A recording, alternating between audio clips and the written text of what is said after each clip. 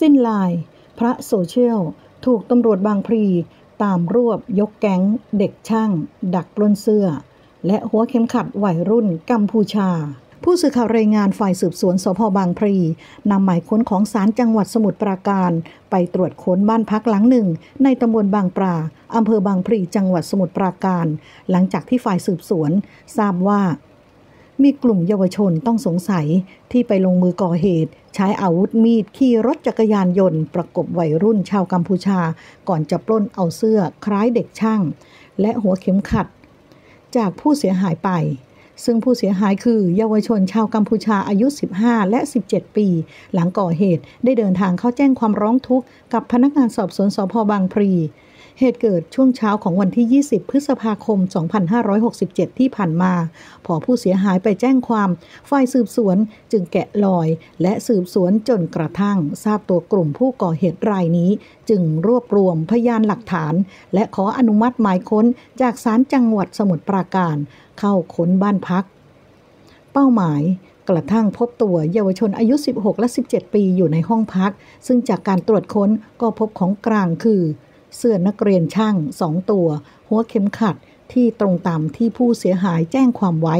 นอกจากนั้นยังค้นพบอาวุธปืนไทยประดิษฐ์ดัดแปลง อีกสองกระบอก ตำรวจจึงเชิญตัวและสอบขยายผลจนตามไปรวบตัว เพื่อนร่วมแก๊งได้อีกสองคน คือเยาวชนอายุ 17 ปี และนายธนากรหรือนายหนุ่มอายุ 20 ปี ซึ่งถูกซัดทอดว่าร่วมกันก่อเหตุในวันดังกล่าว พันตำรวจเอกไพโรธเพชรพลอย ผู้กำกับการสถานีตำรวจภูธรบางพลีได้เปิดเผยว่าสำหรับพฤติกรรมของกลุ่มเยาวชนเด็กช่างกลุ่มนี้ ในช่วงเช้าวันที่เกิดเหตุ ขณะที่พากันขับขี่รถ มาตามทางบนถนน ในซอยแสนจุก ในตำบลบางฉลงอำเภอบางพลีแล้วไปเจอกับสองเยาวชนกัมพูชา ซึ่งเป็นผู้เสียหายจึงใช้รถจักรยานยนต์ปาดหน้าประกบ เรียกให้จอดก่อนจะใช้มีดดาบที่พกติดตัวมานั้น ชักขึ้นมาข่มขู่เพื่อชิงทรัพย์ เอาเสื้อนักเรียนและเข็มขัดของผู้เสียหายไป ก่อนจะพากันแยกย้ายหลบหนี ซึ่งพอผู้เสียหายมาแจ้งความ และรายงานเรื่องที่ตนเอง จึงได้สั่งการให้รองผู้กำกับสืบสวนและสารวัตรสืบสวนไปเร่งติดตามตัวจนกระทั่ง ทราบตัวหนึ่งในผู้ก่อเหตุ นอกจากนั้นฝ่ายสืบสวนยังไปพบว่าหนึ่งในผู้ก่อเหตุยังนำทรัพย์สินที่ปล้นมาได้นั้น ถ่ายรูปโชว์โพสต์ ลงใน Facebook เพื่อประกาศ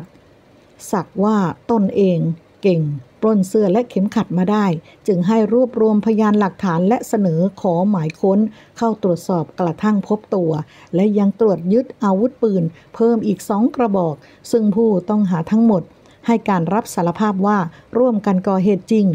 ตำรวจจึงแจ้งข้อหาร่วมกันชิงทรัพย์ โดยมีอาวุธและ ยานพาหนะเพื่อสะดวกต่อการก่อเหตุและหลบหนี